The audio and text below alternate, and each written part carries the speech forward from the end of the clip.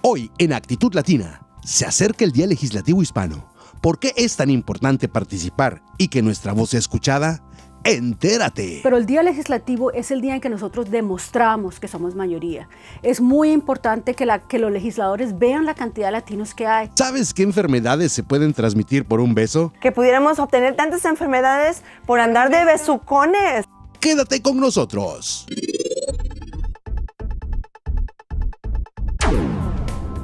Oye Producciones presenta Actitud Latina, actitud latina. Es algo muy adentro, más profundo que el acento. Actitud latina, actitud latina. Es algo que nos conecta desde México a Argentina. Actitud latina.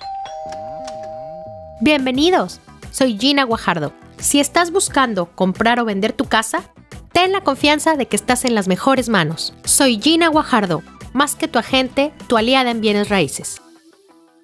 ¿Te gustaría aumentar las ventas de tu negocio?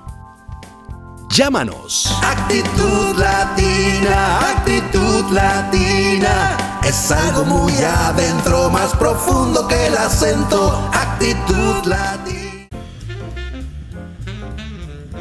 Para cualquier evento social, cultural o de negocios, Energía Events Anticor hace la distinción. Contamos con servicios de iluminación arquitectónica, decoración con telas, DJ profesional, mantelería y mucho más.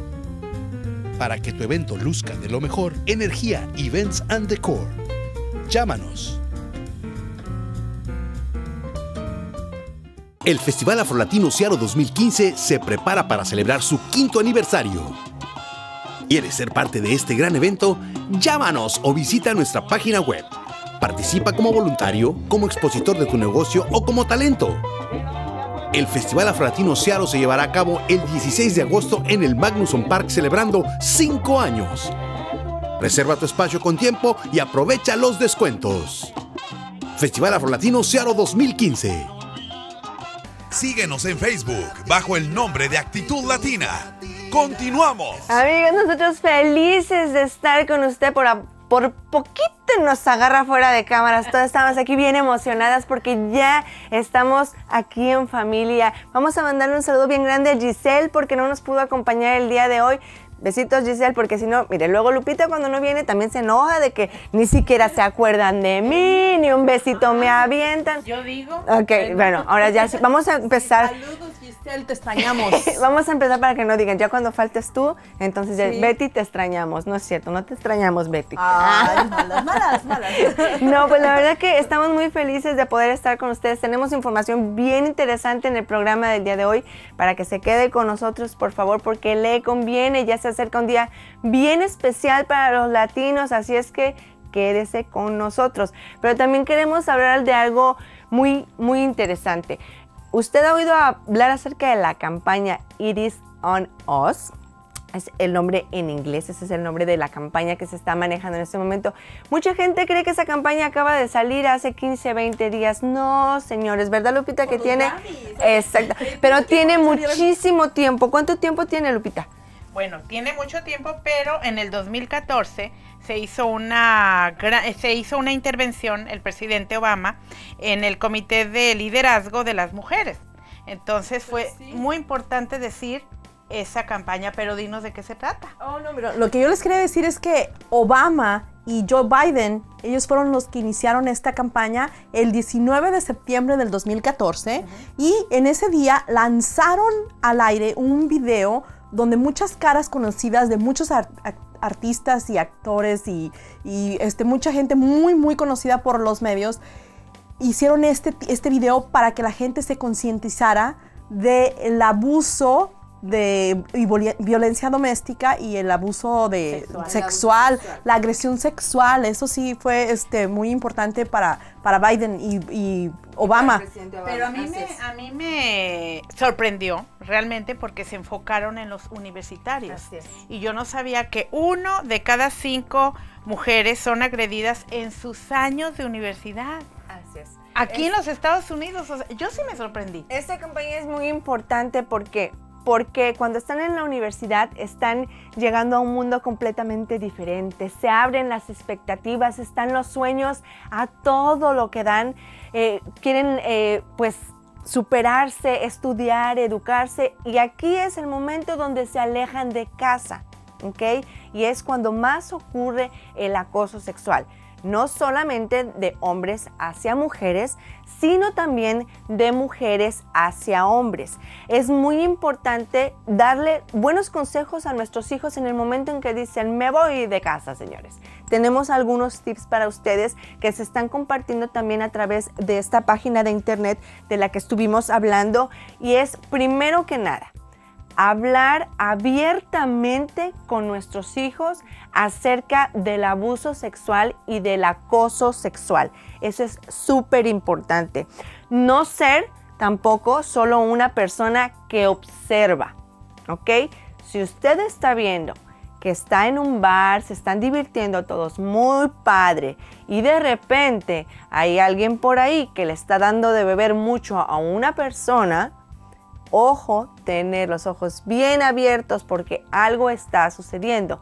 Otra de las cosas que dicen es confiar, por supuesto, en ese sentido que te dice, ah, algo está pasando. Algo, alguien me está siguiendo.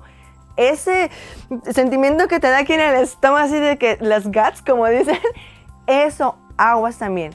Dar confianza a la gente, nunca caminar sola en el área del dormitorio escolar.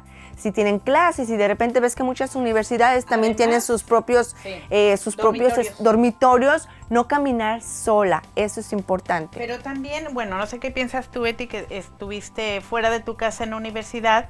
Eh, que, no, no, no, no, me refiero a que dices, estoy como libre, la China libre, y yo me voy y no importa si nos tardamos y llegamos de madrugada, se están arriesgando mucho. Tampoco los queremos a las 8 de la noche, ¿verdad? Pero sí es importante que no nos arriesguemos, sobre todo las mujeres. Sí, sí. Y bueno, miren, volviendo a lo de la campaña de It's on Us, que en español sería Está en nosotros. Esta campaña este, viene mucho, por ejemplo, ahora que, pasaron lo de las, eh, la polémica de la NFL que estuvo muy, muy este, con este jugador que le pegó el Rice, que le pegó a la esposa y que, bueno, le hizo y, le deshizo y ella sale, y ella sale a defenderlo, ¿verdad? Entonces, hay, hay, una campaña y esta campaña precisamente este, nos trata de, de, enseñar a nosotros que todos y cada uno de nosotros, si usted, usted que está en casita, también tiene y juega un papel muy importante en esta campaña. No solamente es una campaña gringa, es una, es una campaña para todos. porque nos tiene que decir alerta, tienes que estar alerta porque muchas veces la violencia doméstica, la agresión sexual sucede en nuestra propia casa o en la casa de al lado y no nos damos cuenta. Muchas veces... Así es. Además, una de las cosas bien importantes, este, Betty, es que muchas veces le echamos la culpa a la persona que sufrió el acoso. Y eso es importante darse cuenta cuáles fueron las circunstancias y usted no puede ser juez de esa persona. Tiene que ayudarlo porque nadie, ninguna mujer, yo creo, en el, eh, ninguna mujer que tiene un trabajo decente, que se para todos los días a prepararse, se viste para provocar a un hombre. Las mujeres y los hombres deben entender eso. Nos vestimos como queremos porque nos sentimos bonitas. No nos, no nos vestimos para provocar a los hombres. Ya si usted va a buscar otra cosa, ya es completamente diferente, ¿ok? Ya son dos puntos diferentes. Pero nosotros tenemos que enseñar como padres, si tenemos hijos, a que respeten a las mujeres. Y también si nosotros tenemos niñas, decirles, respeta al hombre, porque en el momento menos pensado él también puede contestarte a ti, porque el acoso no solamente se da del hombre hacia la mujer. Ok, pero sí también hay mucho de eso, eh, Karina. O sea, sí hay mucha provocación. Últimamente hay mucha provocación y lo toman inclusive en las redes sociales y se nota y es donde también las jovencitas no están teniendo su propia personalidad. Sí, Nos tenemos que ir a un corte. ¡Ay, no, no! Siento mucho, tenemos que ir a un corte comercial. Eh, por favor, tenemos una entrevista bien interesante. Quédese con nosotros aquí en Actitud Latina. Vámonos. Ni modo, las cortes. Adiós. o sea que ya no hablamos de las provocadoras. Esto se está poniendo bueno aquí en Actitud Latina. Regresamos. ¿Estás buscando algo especial para esta temporada? Mondo Arte te ofrece los más hermosos rebozos tradicionales a partir de 15 dólares. Llámanos. ¿Te gustaría aumentar las ventas de tu negocio? Llámanos. Actitud latina, actitud latina. Es algo muy adentro, más profundo que el acento. Actitud latina. Bienvenidos, soy Gina Guajardo. Si estás buscando comprar o vender tu casa, ten la confianza de que estás en las mejores manos. Soy Gina Guajardo, más que tu agente, tu aliada en bienes raíces. Todd tiene el regalo perfecto. Decoración, accesorios, juegos, rompecabezas, todo cuidadosamente seleccionado para ofrecer a nuestros clientes alta calidad. Con artículos únicos y exclusivos, Todd, siempre pensando en ti y en los tuyos. El Festival Afrolatino Searo 2015 se prepara para celebrar su quinto aniversario. ¿Quieres ser parte de este gran evento? Llámanos o visita nuestra página web. Participa como voluntario, como expositor de tu negocio o como talento. El Festival Afrolatino Searo se llevará a cabo el 16 de agosto en el Magnuson Park celebrando 5 años. Reserva tu espacio con tiempo y aprovecha los descuentos. Festival Afrolatino Searo 2015. Síguenos en Facebook bajo el nombre de Actitud Latina. Continuamos. Amigos, y continuamos aquí en Actitud Latina. Se acerca una fecha muy importante. A lo mejor usted ha oído hablar del Día Legislativo Hispano, pero no sabe para qué es o para qué nos sirve. El día de hoy nos acompaña Claudia de Alegre. Muchísimas gracias por estar aquí con nosotros en el estudio. Gracias, gracias por la invitación. Y lo primero es, ¿qué es el Día Legislativo Hispano para los que andamos un poco despistados? Pues mira, el Día Legislativo para mí es el día más importante porque es el día en que realmente podemos impactar los cambios en la ley. El día legislativo es un día muy especial en el que nosotros vamos específicamente a Olimpia a hablar con los legisladores. Lo hemos hecho por muchos años, pero específicamente este año, en marzo 16, estamos yendo con muchísimos latinos. Nos convocamos muchas veces de 3.000, 4.000 personas, llegan ese día para poder hablar a legisladores, decirle a ellos qué es lo que creemos que afecta más a la comunidad latina. Bueno, Claudia, ¿y nos puedes decir cuándo es este día y quiénes participan? Mira, es el día, es el marzo 16. Marzo 16. Marzo 16, por favor, no lo olviden, es el marzo 16. Nosotros nos reunimos desde las 8 de la mañana más o menos hasta las 5 de la tarde y tenemos un programa, un programa muy, muy específico durante todo, durante todo el día.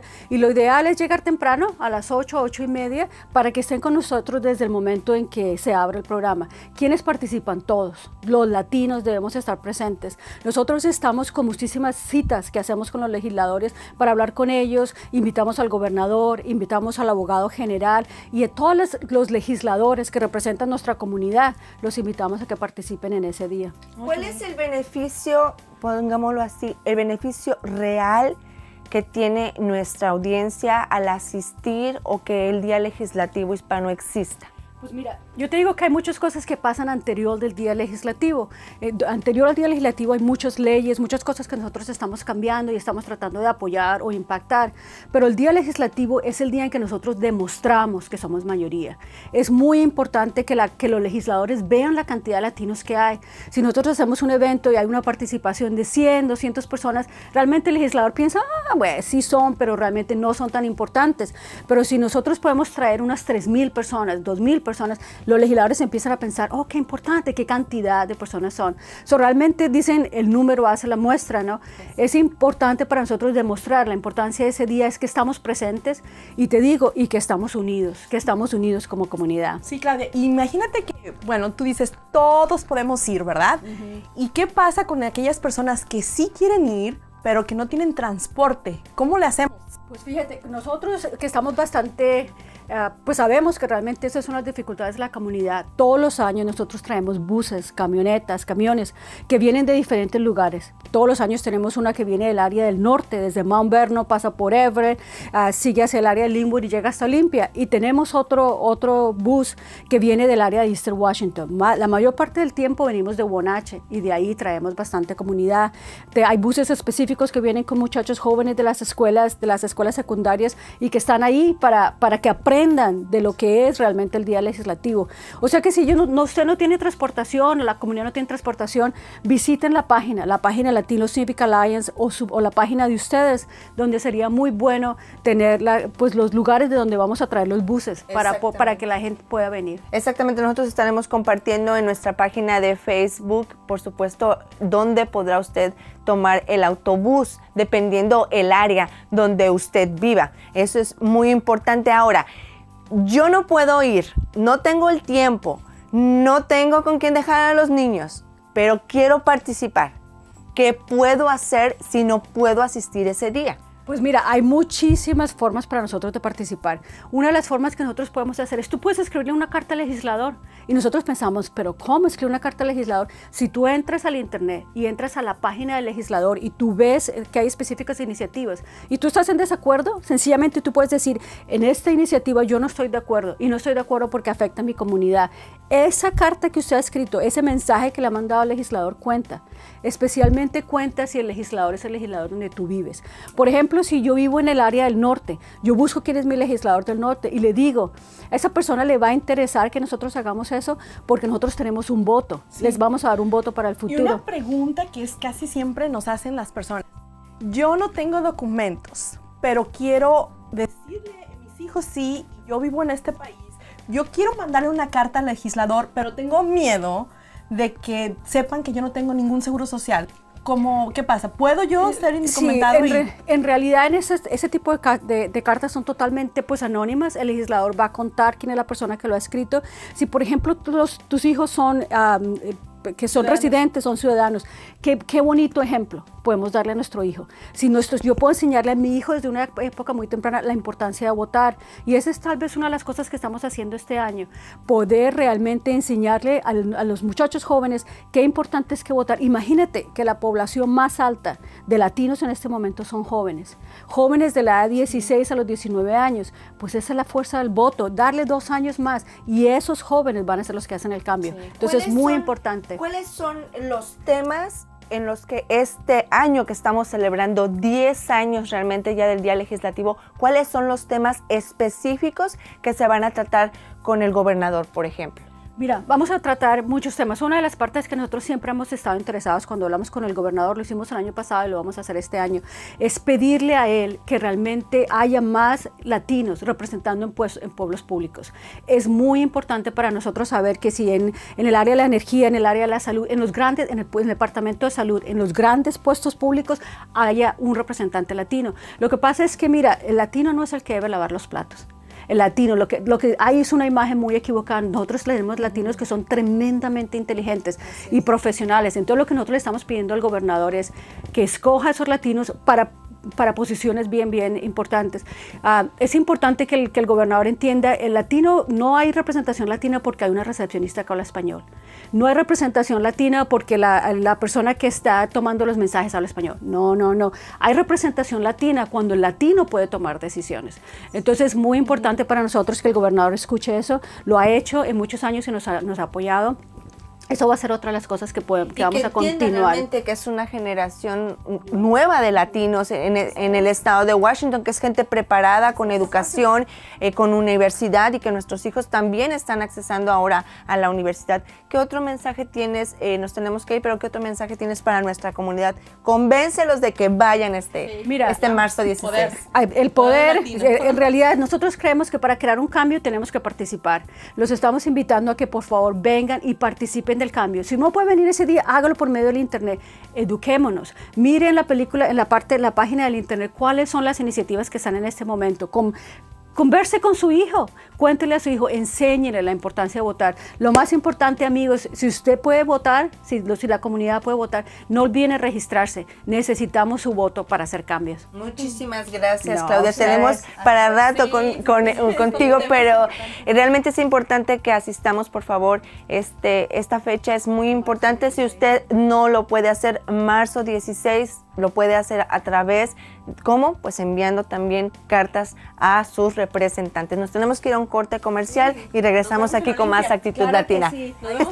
Gracias. Esto se está poniendo bueno aquí en Actitud Latina. Regresamos. Aleluya, Librería Católica y Artículos Religiosos. Contamos con todo lo necesario para abrigar y desarrollar nuestra fe. Tenemos también accesorios y regalos para esas celebraciones ministeriales de nuestra iglesia. Venta y renta de películas. Aleluya, un lugar para alimentar el alma. Visítenos hoy en nuestras tres tiendas, Bethel, Kent y Tacoma, de lunes a sábado de 10 a 6 de la tarde. Aleluya, Librería Católica y Artículos Religiosos. ¿Te gustaría aumentar las ventas de tu negocio? Llámanos. Actitud latina, actitud latina. Es algo muy adentro, más profundo que el acento. Actitud latina. El Festival Afrolatino Ciaro 2015 se prepara para celebrar su quinto aniversario. ¿Quieres ser parte de este gran evento? Llámanos o visita nuestra página web. Participa como voluntario, como expositor de tu negocio o como talento. El Festival Afrolatino Searo se llevará a cabo el 16 de agosto en el Magnuson Park celebrando 5 años. Reserva tu espacio con tiempo y aprovecha los descuentos. Festival Afrolatino Searo 2015. Síguenos en Facebook bajo el nombre de Actitud Latina. Continuamos. Les recuerdo que si usted va a querer ir a Olimpia este próximo marzo, en nuestra página de Facebook vamos a poner toda la información y también si no tiene vehículo vamos a poner la información de dónde van a salir los autobuses. No hay excusa, no hay pretexto, tenemos que hacer que nuestra voz se escuche y la única forma de hacerlo haciendo presencia. Sí, Participando, esa es la clave. Participar, participar, participar. No importa de qué forma, pero hacerlo. Ahora, este, pues ahora sí que cambiando un poquito de tema, muchísimas gracias a Claudia por esa excelente entrevista. Hay pánico en estos momentos aquí en los Estados Unidos y más que nada también aquí en el condado King porque ya se han detectado algunos casos de sarampión. Bueno, vamos a hablar en otros programas acerca de lo importante que es la vacuna, pero primero queremos hablar acerca de este brote que resultó este origen, les voy a decir el origen, el origen de este brote se dio en el lugar más feliz de la Tierra, en Disney, señores. ¿Qué es lo que pasa? Las autoridades están diciendo que esto fue de alguna persona extranjera que no se vacunó y trajo el virus a los Estados Unidos porque supuestamente en Estados Unidos el sarampión estaba erradicado. Ah, güey, ahí es a donde voy. Él no se vacunó y también encontró a muchos que no se vacunaron. Sí, mira, es que lo que pasa, como dice Cari, ya se creía este sarampión erradicado y entonces la gente dice, bueno, ¿para qué vacuno a mis hijos si ya esta enfermedad no existe en mi país? Pero hay que tener en cuenta que todas las infecciones, los, eh, infecciones este, que se transmiten, los virus o bacterias, vienen también, viajan porque hay personas que no se van a África, van a otros lugares donde traen los virus y esas personas que son portadoras de esos virus a lo mejor no saben que lo son porque no tienen los síntomas todavía, porque todavía no se han detectado a tiempo esa, enfer- esa- esa enfermedad. Entonces la traen aquí y hacen un... Sí. Es- exactamente, y se hace lo que sucede en estas personas. Al menos son 70 personas en seis estados diferentes de, en Estados Unidos y también en México. No solamente es aquí, ¿ok? En, el, en King County se han reportado algunos casos muy serios y también recientemente en la ciudad de Bellevue. Eh, también se reportó un caso, entonces es importante estar pendiente de las vacunas de los niños. Si usted no lo ha vacunado por alguna razón, por favor hay que hacerlo, porque esto también, esta enfermedad no se pega tan, así como que de un día para otro. Tiene una incubación. No, a mí no me dio, pero me vacuné. Sí, ay, estoy vacunada ¿Viruela? Viruela, sí, el chickenpox, como le dicen aquí.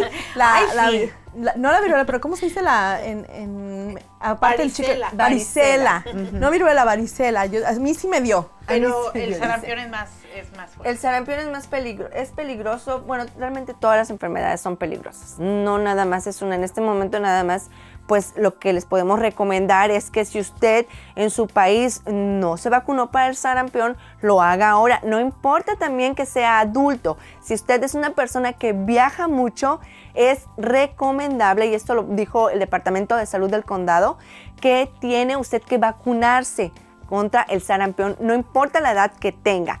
Además, ahorita que estamos hablando de, de enfermedades y de cosas que suceden, porque también, ¿a quién no le gusta besar? ¿A quién no? ¿A quién no? A todo mundo nos gusta besar, señores. A todo mundo nos gusta darle un besito a nuestro querido amor en este mes que ya se nos va. Pues resulta que hay enfermedades que se pueden pegar por un beso. Por un beso también usted puede sufrir. No necesita ir a Disneylandia también.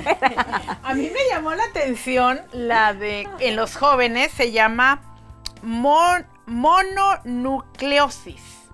Y es en los jóvenes de 15 a 17 años. Y tenga en cuenta los siguientes síntomas de los jóvenes. A ver. Si empiezan con dolor de cabeza muy, muy fuerte, fiebre, falta de apetito, pregúntele si besó a la chamaca o al chamaco. Que se me hace que ahí ya anda el virus. Dice que un beso es la puerta a un gran número de infecciones, señores. ¿Cuándo se había? Bueno, ahorita... Pero espérense, no es que no los queremos, no los queremos este, que entren en pánico, ni no No. queremos que no Que de besen. besar. No bese, bese a su pareja, bésela mucho. Pero, pero hay que tener cuidado. Nosotros queremos tratar este tema solo para que usted tenga un poco de cuidado. ¿A quién que- besa? A quién besa. y también dejarle saber que sí, por un beso, por transmisión de saliva, se pueden eh, estar, eh, se pueden este, am, tener y contraer estas enfermedades. Tengo con caries. con- sí, Con mira, ay, caries, con ampollita, que y esos besos que usted le da la mordidita así rico cuando se besa, pero le hacen "Mm", y le deja así sangrita, ay, no se lo va a acabar. Mejor, ¿sabes qué? ¿Quieren que les, mejor póngase hielito. quieren que les diga las, que les diga, son, son nueve enfermedades Ay, hasta ahorita. Ah, Tú ya les nombraste varias, pero son nueve enfermedades que están claramente este, Comprobadas. comprobadas co- por los doctores. Ok, es la que ya mencionaste, la una, la monocleosis, mononucleosis, perdón, el citomegalovirus. Estoy, parece que estoy diciendo trabalenguas, ¿verdad? Pero bueno, luego les vamos a decir qué es. Pero la gin- gingivitis, Oh, sí. La gripe. Ajá, en la infección de estreptoco, estreptotoco. El herpes es una es oye, porque ya No saben esos por- herpes. Sí, No no, te no te me acerpes porque me no. Ya Hay también este enfermedad hepatitis B. hepatitis La B. hepatitis B también es otra de las enfermedades que se puede contagiar. No Meningitis. se preocupe, usted siga besando a su pareja. Nosotros nada más estamos compartiendo información con ustedes porque nos pareció muy curioso. Nunca habíamos visto que pudiéramos obtener tantas enfermedades por andar de besucones. Oye, pero ¿sabes no, no, no, no, no. positivo. Ah, claro. Es- dicen que es Mueven muy bueno. Sí, no es muy bueno. Si tú eres sano y tu pareja es sana y se besan, también pueden este, transmitirse buenos, ah, buenos, buenos, este, buena saliva y buen em, para que tú tengas este ¿Defensas? defensas para tus enfermedades. Entonces, Entonces siga besando. Pues yo la única, la única defensa que quiero es poder compartir con usted todo el tiempo, señor. Recuerde, estamos a través de nuestra página de Facebook, de Twitter, de Instagram o nuestro canal de YouTube. Es un placer poder estar con usted. Nos tenemos que ir, lo siento Bésame mucho. mucho. Bésame mucho.